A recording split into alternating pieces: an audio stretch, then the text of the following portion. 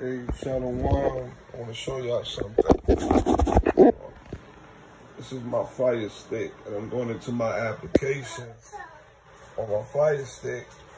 And um, Hit TV is what I use a lot. I got all the movies and stuff.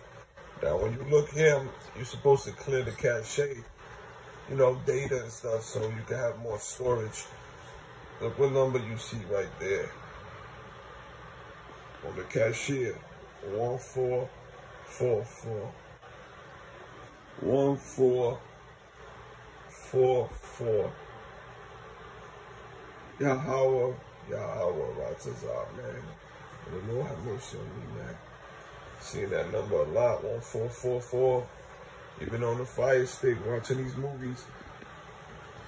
One four four four. Shalom, Yahweh Ratazah.